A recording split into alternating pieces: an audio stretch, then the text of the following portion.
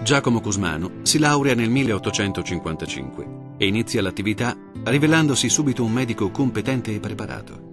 Ma è soprattutto la sua generosa disponibilità ad attirare la gente più bisognosa di Palermo e dei paesi vicini. Non sarà troppo presto. Salve amici, vengo subito.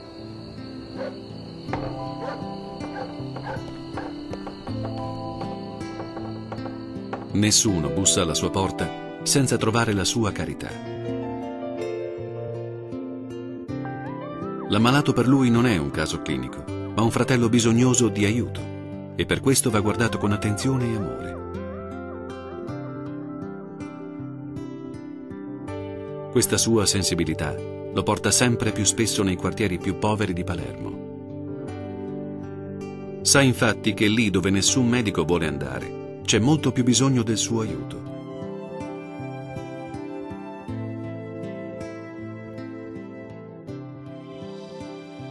Agli occhi di Dio, gli uomini sono tutti uguali e hanno un unico destino che li accomuna.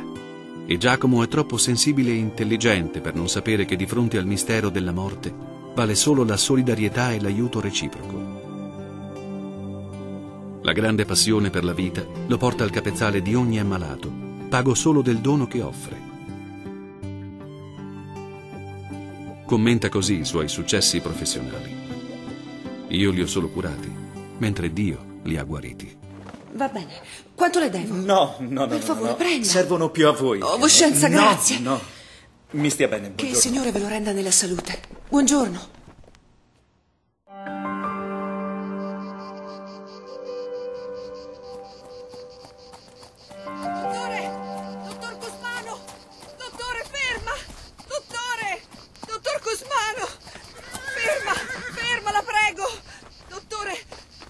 Mi dica, signora. presto, dottore!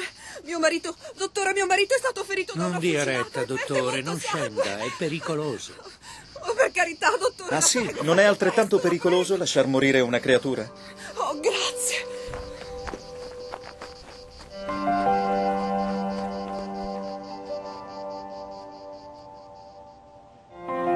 La fede tenace lo porta a percorrere le lunghe distanze che separano i vari casolari dispersi nella campagna palermitana.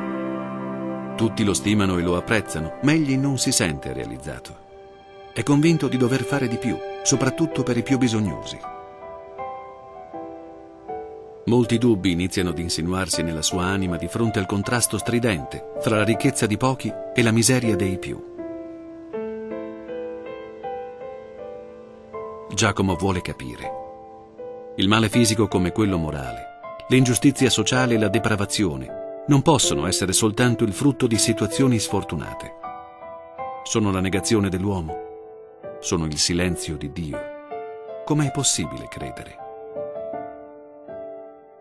Beati i poveri, perché di loro è il regno dei cieli. Beati i puri di cuore, beati coloro che hanno fame, beati coloro che vengono perseguitati, beati i poveri. I poveri li avrete sempre con voi, li avrete sempre con voi.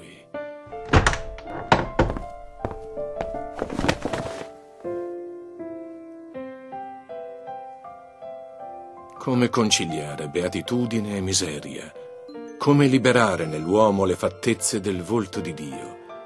E che senso ha un Dio che si fa uomo, un Dio che si fa carne e pane? Prendete e mangiate. E mangiarono tutti.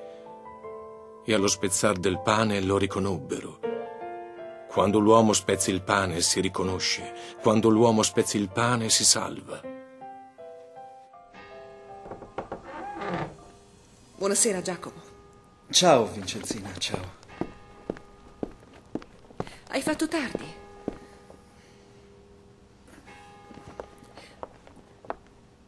Ti vedo stanco. Quando deciderai di lavorare un po' meno? Quando avrò deciso che fare della mia vita, deciderò anche se lavorare di più o di meno. Giacomo, Non mi basta più. Non mi basta più curare la ferita di una fucilata. Vorrei curare il male che induce una povera creatura a sparare ad un suo simile. È molto vero quello che dici. Giacomo, hai pensato al consiglio di Monsignor Turano? Di consacrarti a Dio? Non credo di esserne degno, ma poter avvicinare la gente e parlar loro di Dio, forse può bastare ad un umile frate questuante. Certo, ma per rendere al povero un servizio totale, morale, spirituale. Consacrarsi a Dio è la cosa più... più grande.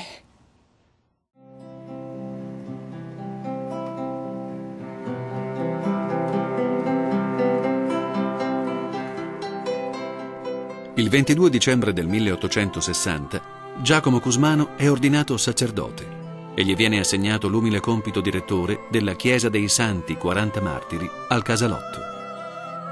Scrive nelle sue memorie.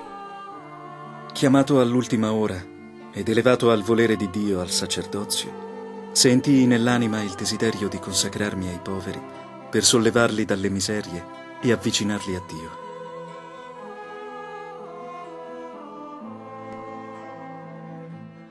Come pastore inizia a percorrere i vicoli della sua Palermo, a perpetuare la missione del Cristo, consolando, aiutando, spezzando il pane, proclamando a tutti che il regno di Dio è arrivato, perché ai poveri viene annunciata la buona novella.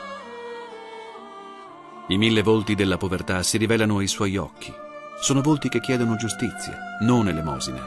Chiedono carità, non compassione. Padre Giacomo entra in queste case per rispondere concretamente alle tante richieste materiali e spirituali che gli vengono rivolte. E per essere subito disponibile ad ogni chiamata, la notte dorme vestito.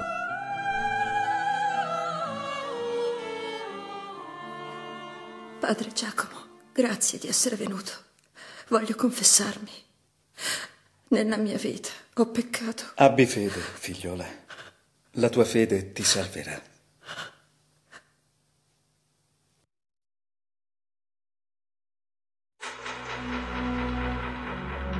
Gli anni che seguono l'unità d'Italia, nonostante le tante speranze e aspettative, portarono al proletariato siciliano solo fame e miseria. A Palermo intere famiglie senza più nulla da mettere sotto i denti si lasciavano morire di fame e di inedie. Un giorno, passando davanti ad un tugurio, vide con disgusto che un'intera famiglia stava divorando la carcassa di un cane crudo. Cosa fare di fronte a tanta miseria? Dove trovare il cibo per sfamare tanti miserabili?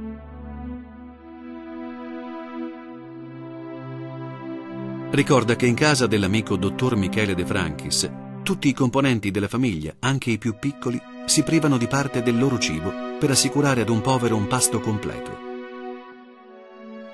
Chiamavano questo gesto il boccone del povero. E questa tradizione semplice diventerà il fondamento di tutta la sua opera.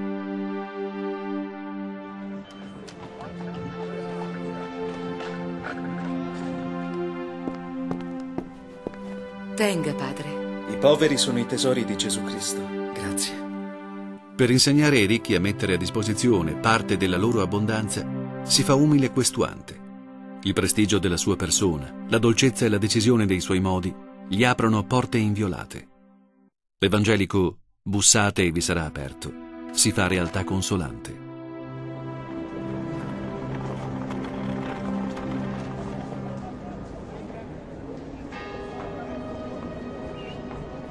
Ristoratevi, buona donna. Il buon Dio si ricorda sempre di voi. Grazie. A mano a mano che l'opera progredisce, molte persone sensibili si affiancano a lui.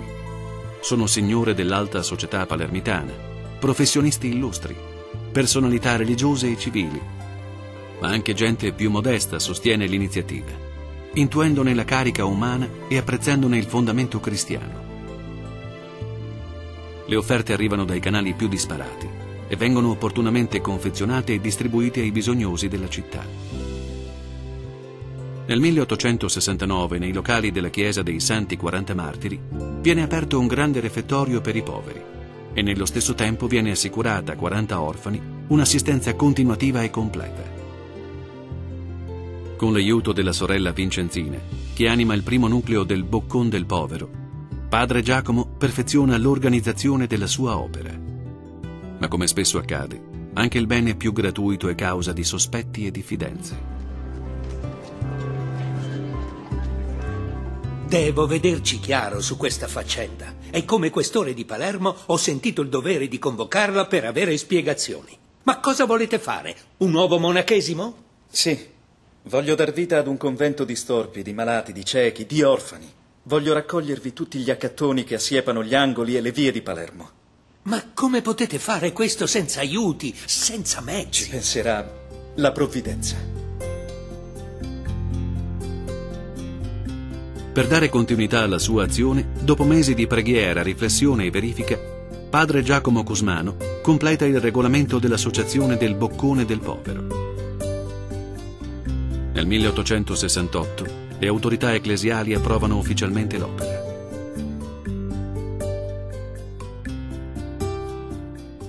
Ma questi aspetti burocratici non lo distolgono dalla sua azione. È sempre in prima linea a sobbarcarsi con generosità ogni tipo di lavoro affrontando tutte le situazioni di bisogno. Padre Giacomo. Avanti. Salvatore, a quest'ora qui. Scusate, padre. Ho incontrato Morello. Vieni avanti. Non ha un letto per dormire e mi sono ricordato che la carità è a San Marco. Hai fatto bene. Vieni, Morello. Grazie, Salvatore. Buonanotte, Vieni, padre. Morello. Buonanotte. ma il suo operare non concepisce solo l'aiuto materiale, come dar da mangiare agli affamati o vestire gli ignudi. La sua è un'azione a tutto campo per promuovere l'uomo nella sua totalità, sia materiale che spirituale. Per questo non può tollerare lo sfruttamento della prostituzione, uno dei delitti più odiosi contro la dignità umana. Si batte con decisione, non può accettare che si faccia mercato del Tempio di Dio. Con il coraggio della fede, sottovalutando spesso i rischi che corre, riesce a raggiungere il fine di quella carità liberante voluta dal Cristo.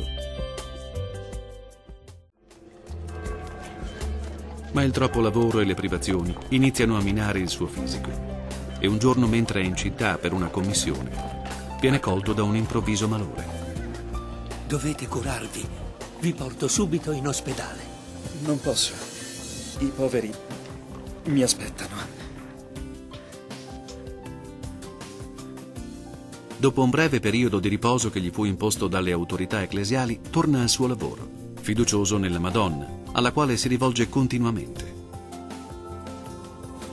Ma arriva il momento della prova. Sulla sua opera si abbattono critiche e calunnie.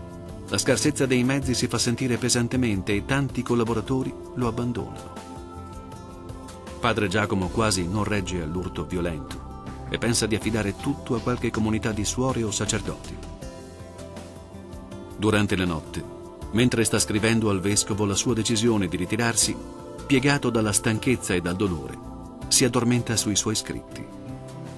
E mentre dorme, sente la voce di colei alla quale ha affidato tutto il suo cuore. Figlio mio, la tua opera è accetta al Signore e prospererà al fine per cui è nata.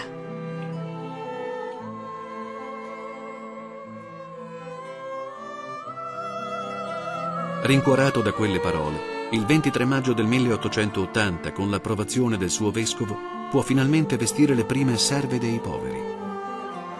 Ci sono voluti anni di sofferenza e di fatiche per veder realizzato questo suo sogno. Il suo cuore trabocca di gioia. Fra di esse c'è anche la sorella Vincenzina, che è stata più una madre che una sorella, e anche in questo momento lei è vicina e lo segue.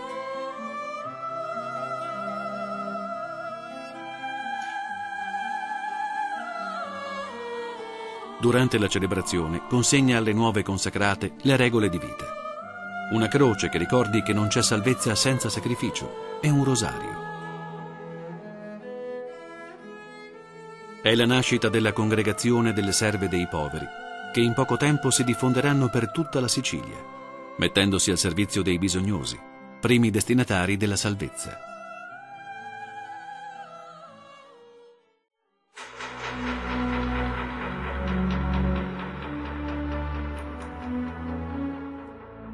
Un'ennesima calamità si abbatte su Palermo. È il colera. Il morbo dilaga colpendo gente di ogni età. Molti anni prima, questa malattia era stata la causa della morte di sua madre e conoscendone la pericolosità non esita per salvare dal contagio i suoi assistiti ad affrontare le autorità. Signor Sindaco, ho saputo che lei vuole impiantare l'ospedale dei colerosi nella casa dei poveri. Ebbene? Ha qualcosa in contrario? Ma ne va della coscienza. Portare l'infezione nella casa dei poveri è una cosa grave. Padre Giacomo, l'ospedale dei colerosi si è sempre fatto in quel locale. Ma ora ci sono gli anziani e io non posso transigere che... Gli anziani sono suoi, ci pensi lei. Io come sindaco devo risolvere questa faccenda. Quegli infelici sono veramente miei, perché la carità me li regalò.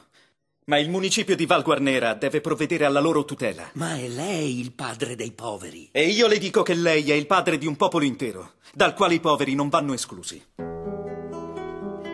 Il suo modo di affrontare i problemi è concreto. Le belle parole appartengono al mondo degli inefficienti e sono inutili. Così, senza pensarci due volte, decide, aiutato da alcuni volonterosi, di costruire un lazzaretto alle terre rosse. In questo modo le sue orfanelle colpite dal contagio potranno godere di una migliore assistenza e dedizione.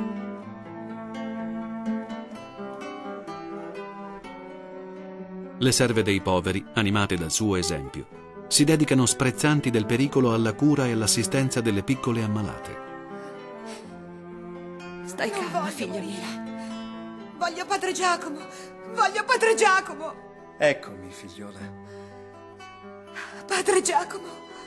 Abbi fede, guarirai. Guarirai presto. Sensibile come un padre, pensa a tutto, anche al dono di una bambola.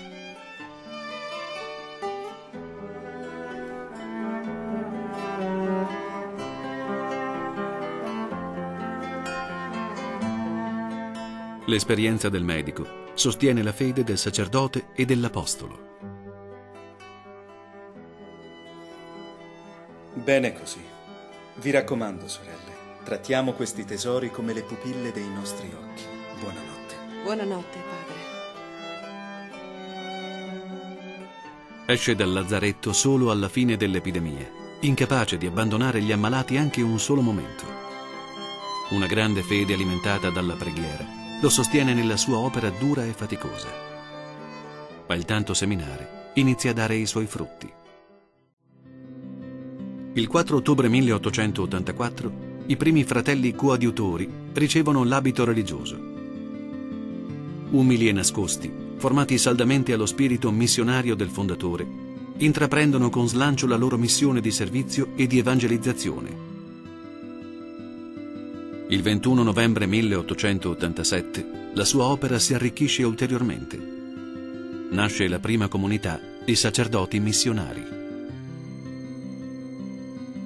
Consegnando loro il crocefisso, padre Giacomo può salutare con gioia serena la grandezza delle opere di Dio, mirabili ai nostri occhi, con queste parole. Nostro scopo è alleviare la povertà, dissipare l'ignoranza, alleggerire la sofferenza. In una parola venire incontro ad ogni forma di bisogno. Volete vedere Gesù? Eccolo nei poverelli. Essi sono un altro sacramento. Ricordate i suoi insegnamenti. Tutto ciò che avete fatto al più piccolo dei miei fratelli, l'avete fatto a me. Avevo fame e mi avete dato da mangiare. Ero ammalato e mi avete curato. Ero ignudo e mi avete vestito. Ero triste e mi avete consolato. Questa è la via per la vera felicità. Il 14 marzo 1888, dopo un'esistenza vissuta per il prossimo a soli 54 anni, lasciava questa terra. Padre Giacomo Cusmano è stato come il chicco di grano di cui parla Gesù nel Vangelo, che cadendo in terra per amore ha portato frutti in abbondanza per il bene di molti.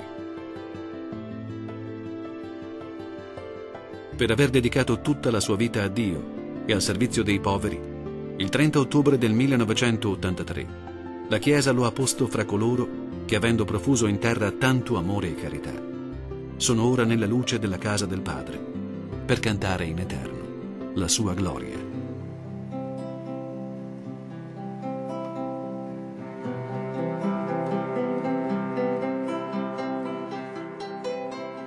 Non mi dimenticate nelle vostre preghiere e nel desiderio di rivedervi vi benedico nei dolci nomi di Maria e di Gesù.